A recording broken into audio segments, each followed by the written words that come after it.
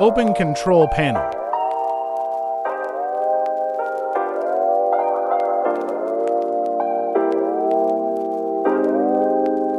Search for Turn Windows features on or off.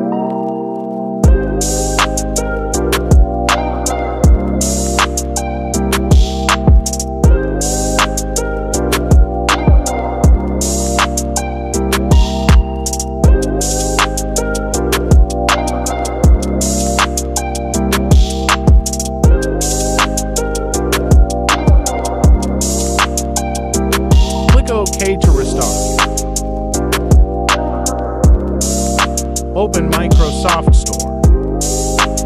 Search for and download Ubuntu, any version of your choice.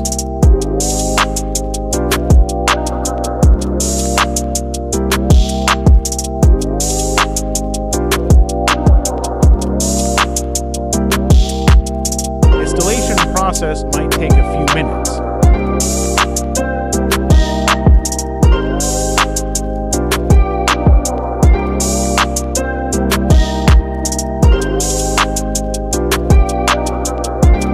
Note, all usernames must be in lowercase and without a space. Also, when typing the password, it won't be visible, so do well to type a right one.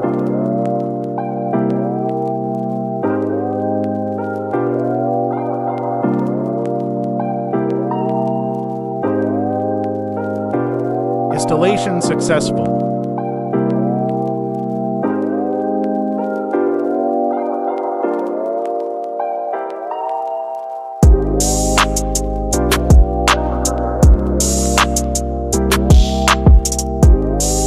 Reopen Ubuntu.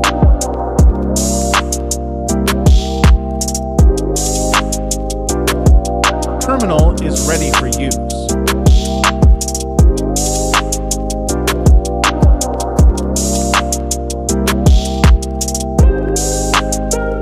Like, comment,